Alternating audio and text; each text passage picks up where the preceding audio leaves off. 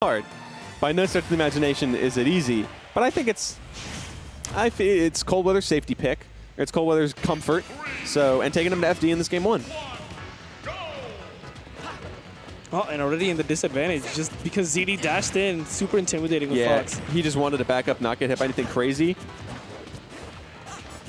ZD is very good at holding center stage. I've noticed this before, but he he's does a very good job of rushing you down, and even if he doesn't approach you or hit you with an option to put you in disadvantage, he'll make you want to back off so that you aren't controlling the center, and it gives him Oh, no you know that ability. Oh, no stock either. yeah, he does so good with pushing you to a disadvantage with just his movement. And I noticed he doesn't jump when he absolutely needs to. Yeah, he, he loves to you know mix it up with full hop, short hops. You saw there that he was mixing up his nair timing as well. Like even mm-hmm. in neutral, just to kind of find that one time he can trip Coldweather up so we can run that disadvantage train. Ooh, parries. Yeah, okay. Also, he's a parry master, Yeah. by the way, in case you didn't know. Oh, he kind of baited Coldweather out to go for that early up B, but does not find that forward smash punish, unfortunately. Dancing Blade coming out, sending ZD off stage. Not for long, though. Okay, Fox is at kill percent. If he is able to get Yes. another dancing blade, That is so weird to say, but yeah, 53 he technically is in kill percentage, but oh. so is Coldweather. yep. With punishing the fair with the up smash. All right, let's see though. How are you going to find a stock Coldweather? You have to go through the mound that is ZD. Up tilt maybe might be that first way to start yourself going off. Some Okay. aerials. Or till almost catching the air dodge. And yeah, you are just kind of getting ran around by ZD right now. Coldweather is doing good at getting these tippers, just not at the places he wants. Like, he got a tipper fair over, like, on the opposite side of the stage. So if he could find a way to push ZD just to disadvantage and keep him there, Yeah, that see that's the thing we're, we're really seeing right now is that Coldweather can get hits, but ZD gets out of disadvantage so fast, Coldweather can barely capitalize on what he's gotten. And you can see right now he's getting called out left and right and a three stock by ZD. Yep, that is the problem with Marth and Fox. Marth gets in your face, and it's almost like you can't get him out. He'll just be hitting buttons all over you, and you can't, you don't have fast enough options to deal with it. Yeah, Fox is the rushdown of the rushdown.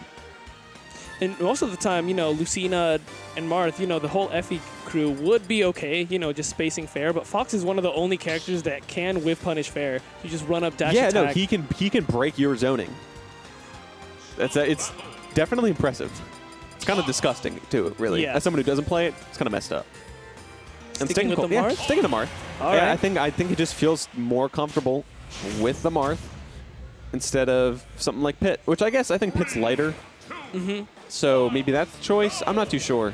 I maybe should talk to Coldweather about it, but uh, right now we, we do see that you know the Archanea swordsman trying to come out, trying to get some W over Fox McCloud.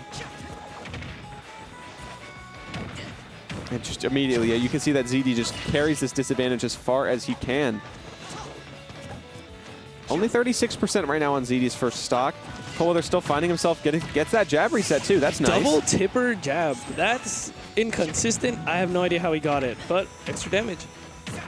Oh, Oh. speaking of extra damage, you're going a little bit uh, too far there in that back air. Well, that's how he secured the stock that first game, is that he gets that nice back air, sweet spots it, and just sends Coldweather to the Shadow Realm. And he's just, oh my, My god, God, yeah. 62. What he's just catching Coldweather. combos? He's putting him in situations.